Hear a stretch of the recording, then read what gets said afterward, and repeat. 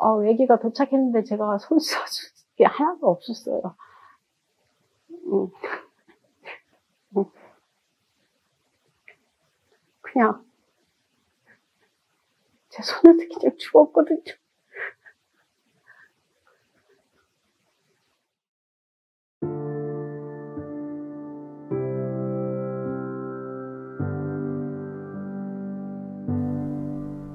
전기도 물도 없는 오지.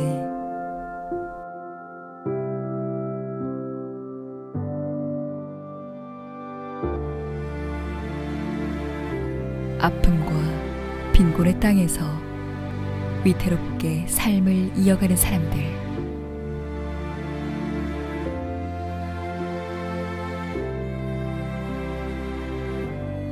메마른 말라 위에 행복을 채우고 절망과 고통이 희망에 이르도록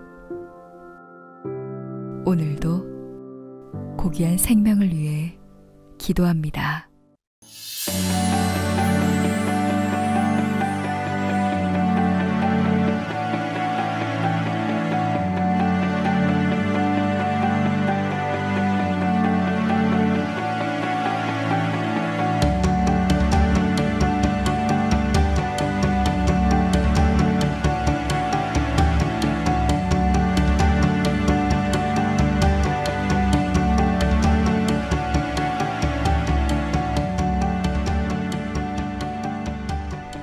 제주 함덕에서 가난한 농부의 딸로 태어난 백영심 간호사는 8살 많은 언니의 권유로 제주 한라대 간호학과에 입학하며 의료인의 꿈을 키워갔다. 대학교 1학년 시절 우연히 여수 애양원을 방문하게 된 그녀는 한센인을 돌보며 의료봉사의 삶을 결심하게 된다.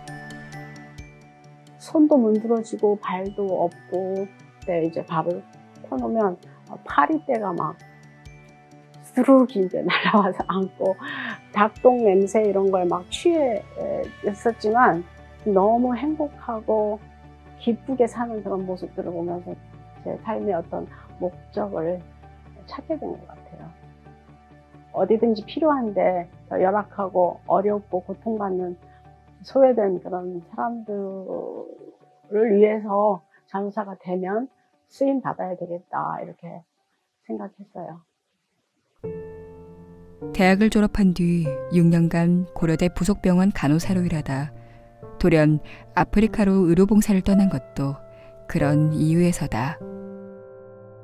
한국에는 아픈 환자들이 찾아갈 병원이라도 있지만 의료 여건이 극도로 취약한 아프리카는 인구 5만 명당 의사 수가 한 명에 불과하다는 얘기를 듣고 가만히 있을 수 없었다.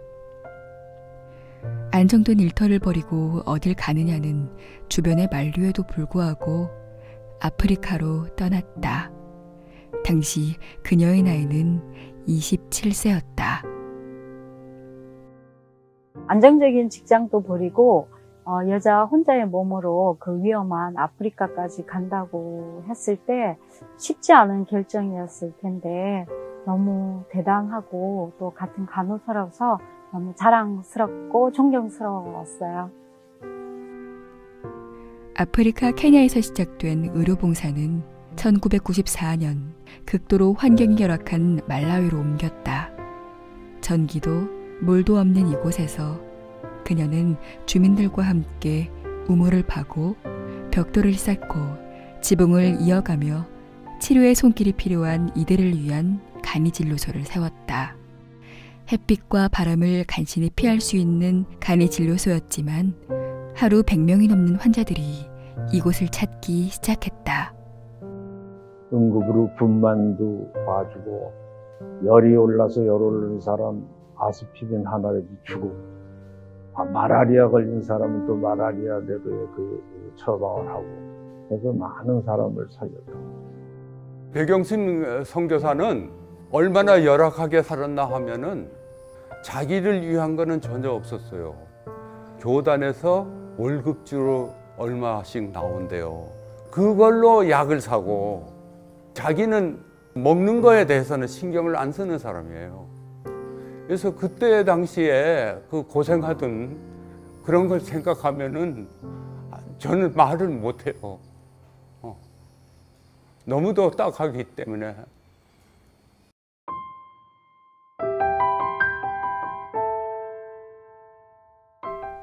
하지만 한 사람이 감당하기에는 너무나 힘겨웠던 말라위의 의료 환경.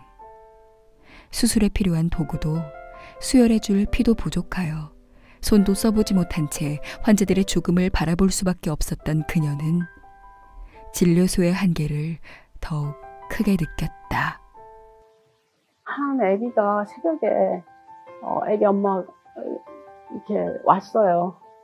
놓고 해서 제가 이제 진료소 지어지니까 거기에 방을 하나 숙식을 거기서 진료소에 하고 있었거든요. 어, 아기가 도착했는데 제가 손 써줄 게 하나도 없었어요. 음. 음. 그냥 제 손에서 그냥 죽었거든요.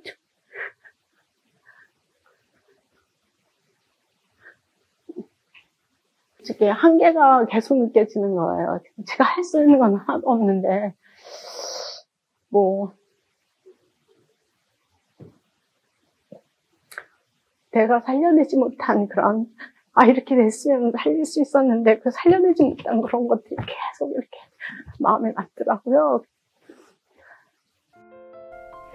이토록 의료 환경이 열악했던 말라위에 한 줄기 희망의 빛이 비쳤다. 그녀의 이야기를 듣고 감명을 받은 한국 기업의 도움으로 마침내 2008년 말라이 수도 릴롱그에 대양 누가병원이 설립되었다. 최신 시설의 현대식 180병상 규모를 갖춘 대양 누가병원은 한국 정부와 여러 국가의 NGO 단체 등의 후원, 그리고 세계 각국의 의료봉사진의 도움으로 한 해 20만 명이 치료를 받고 천여 명의 새 생명이 건강하게 탄생할 수 있게 되었다.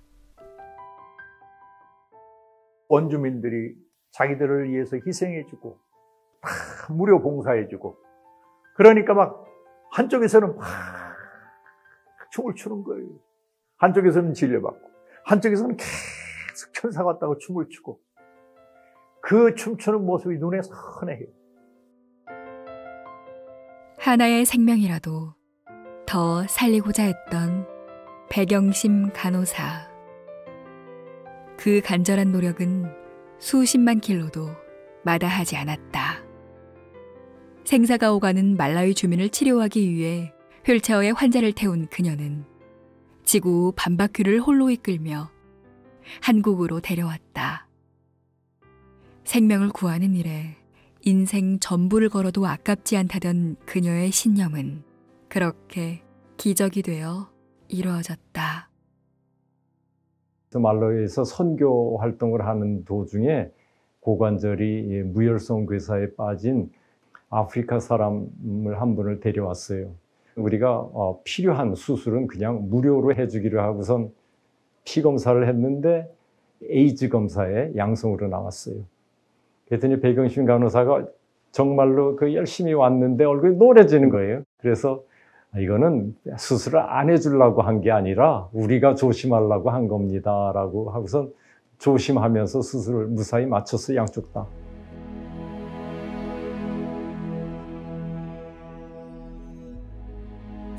삼십여 년간 말라위의 의료 여건 개선을 위해 달려왔지만 정작 자신은 돌보지 못했다.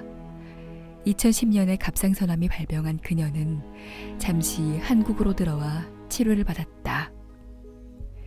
투병 생활을 하면서도 오로지 머릿속에는 말라위의 의료 여건 개선이었다. 다시 말라위로 돌아간 백영심 간호사는 현지인들 스스로 지속 가능한 변화와 발전을 위해 의료보건 인력을 키울 수 있도록 대학 누가간호대학 설립을 추진했다. 또한 말라위 국민들 스스로 가난의 굴레에서 벗어날 수 있도록 유치원, IT대학 등 설립을 주도하며 교육의 장을 만들었다. 이 밖에도 말라위 정부와 협력을 통해 에이즈 예방과 모자 보건 사업을 정착시킨 그녀는 다시 초심으로 돌아가 Miracle for Africa Foundation 이사 및 mission director로도 활동하며 마을마다 균형 있는 의료 서비스를 제공하기 위해 이동 진료에 집중하고 있다. 올해가 이제 간호사의 해라고 기념하고 있는 해인데 전 세계적으로 코로나 때문에 가장 일선에서 어, 희생하면서 어, 수고하시는 분들이 저는 간호사라고 봐요. 어, 저는 의사입니다만 어떤 면에서 의사들은 병실에 잠시 가서 뭐 처방을 내리고 오면은 그만이지만 간호사는 그 코로나 감염돼 있는 그 환자들 곁에서 어, 24시간 그들을 돌보고 섬겨야 되지 않습니까?